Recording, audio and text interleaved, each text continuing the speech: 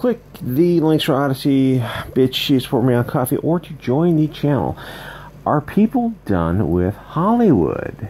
ScarJo enters the blacklist universe at Disney, and Netflix is down 20%. You got a lot of factors going on here. The flu, flu, BLM, Antifa, the insane, insane media, even Epstein Weinstein type of stuff. All these factors are working together to create a lot of resentment towards the globalist Hollywood media machine. Most people use Twitter as their social media. I, I don't use Twitter. I use the uh, YouTube comment section under the mainstream news videos. People are getting upset.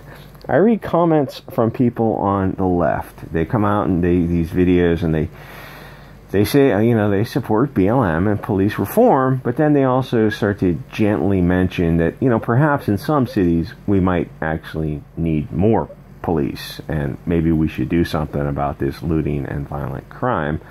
Or in videos regarding the Wu flu, they get ratioed, and people in the comments are wondering if perhaps the whole thing isn't just maybe a little teeny bit exaggerated like most people believe in it, but a lot of the narrative doesn't follow the science. In fact, it directly goes against the scientific method. There's a lot of anger building up because people are catching on that we can group these things together Hollywood, academia, the media, and social media. They're all communists and evil, evil, filthy people who hate you.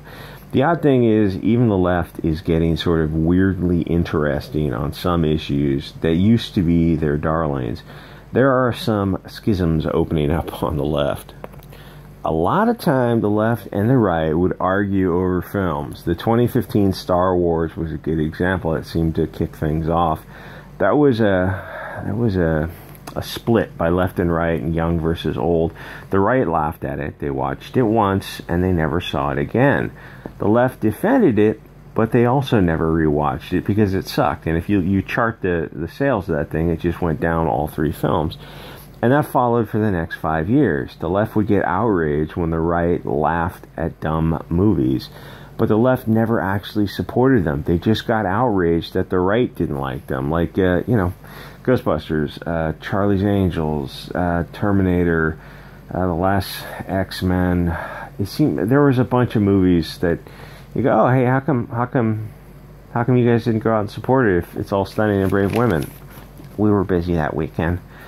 But these uh, then things now things have changed a bit because the left won their dream candidate, Emperor Biden, and everything is going well for them. Yes, it's true. The value of the dollar is dropping like a Led Zeppelin, and the doors to the south are opened, and BlackRock, funded by the censored, is buying houses. You'll own nothing and be hap- happy little slaves because someone owns it and it won't be you. It'll be the Rothschilds or Soros. So, yes, there will be some belt tightening so the taxpayers can pay for the enrichment of those who take and don't give. All this actually doesn't sound like something one would desire. Working to pay others who don't wish to work. It seems technically like slavery. But that apparently is their utopia. So the right is out of power, and due to the changing demographics, is out of power forever. It turns out diversity wasn't their strength after all. My gosh, they lied to you this whole time. But the point is, the right is the um, underdog now and forevermore. So they are looking at the rather evil Hollywood CNN media machine with a new eye. Hollywood and the left are the bad guys. They were working to destroy the nation all along.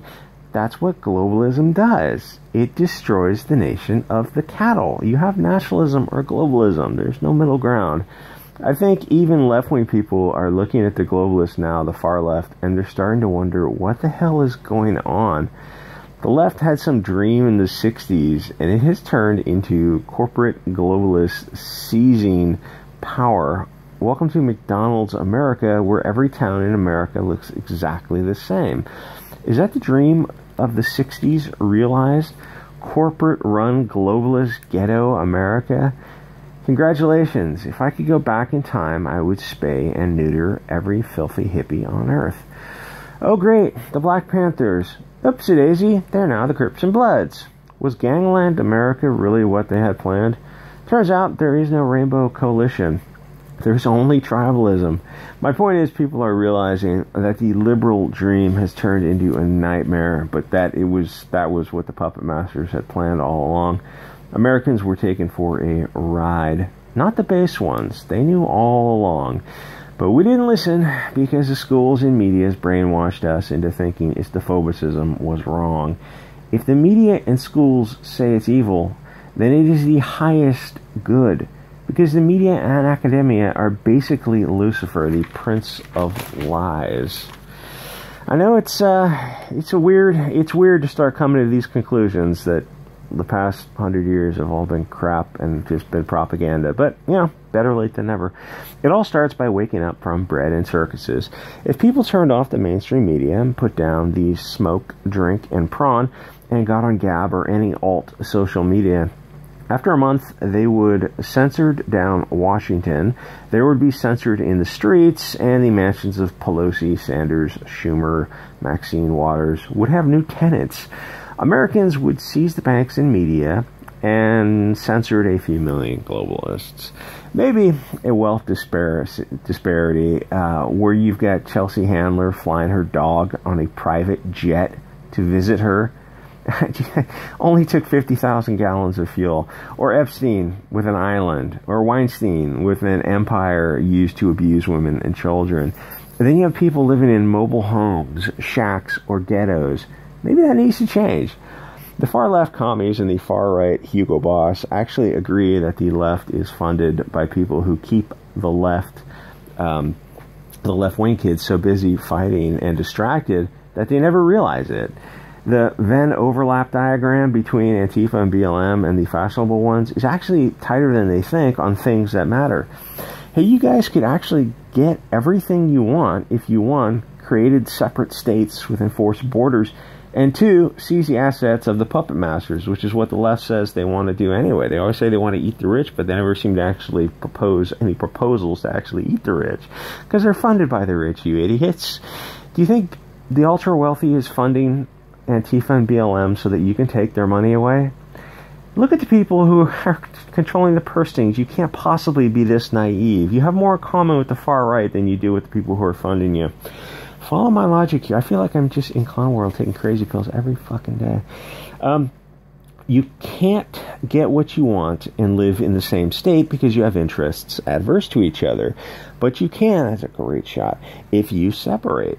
The puppet masters don't want you to separate. They want Antifa attacking Christian groups in, where is that, Portland or something? That accomplishes nothing but vitriol. Gee, Antifa and BLM, you've accomplished nothing for the past few years, except you got a few of your own guys uh, deleted, and to be fair, you've deleted a few other people's. Good for you. You, you uh, what, what happened in the Chaz? Uh, six six people were um, were six six people were shot. All POCs on POCs. Good going. Good going, Antifa. What's your goal? Uh, like we want a new like national anthem for the blacks, or like whatever and Neil at the NFL or some shit, and money. Uh, okay, the gang banks, the gangs, the, yeah, the bank is a gang, gave a billion of, I guess, shareholder money to a fund that is administered by their fellow bankers, i.e., their nephews. It's kept in an account that is put to work making money to make the bankers even more money and you know hire more of their fellow lawyers to administer the fees. So it's for BLM, right? So where are the low income schools? What's the money actually doing to stop the cycle of crime and violence? Nothing. If they wanted to break the cycle of ghetto America, they would have opened. They wouldn't have opened the doors in 1965 with Hart Celler and replaced the fathers with the taxpayers. If you fund something, you'll get more of it. If you're pro-choice and like just throw out the religious or the ethics completely aside, that supports a cycle of poverty. So does welfare and a revolving door legal system. Uh, if you want, let me get that image. Just get back there. If I want to get that image back there. Uh, if you wanted to actually do anything, if you wanted to stop violent police interactions, in, all it would take is 50 years, a few generations, you'd end welfare and create workfare, mandatory farms and factories work programs. Go to school as, as long as you want, but instead of getting brainwashed in CRT, learn some tech and go build American made flashlights or whatever. Oh, yeah, you'd have to cut trade with China. Oh, darn. Well, F China. But think of the poor billionaires, NGOs who were parasites in commercial zone Weimar America. They won't be able to get that Lear um, F740 model. They can only get the 650 model. Oh, darn billionaires. Maybe Cuties started to wake people up as if Epstein Weinstein wasn't enough to wake people up. Cuties was kind of more in your face and just friggin' abhorrent. They were saying we are unto gods among you cattle. We can destroy your children. Your ancestors would drive us from this mortal coil with pitchforks. Um, but you fat civilized drones won't get up off your couch and actually do anything. Well fed men don't usually revolt. But uh, this might be the first time in history. I occasionally listen to other pop culture channels and I can hear their mental mental gears working. Gary and the quartering and the rest are outraged by the latest global nonsense propaganda, but they're making hundreds of thousands of dollars a year from YouTube, so you know.